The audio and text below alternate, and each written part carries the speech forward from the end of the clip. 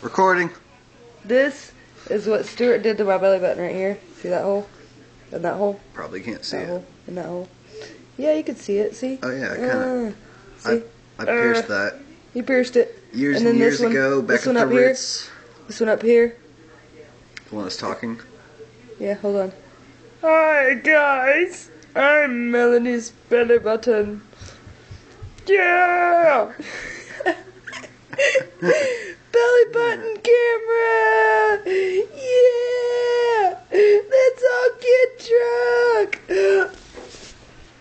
Ah. Ah. yeah.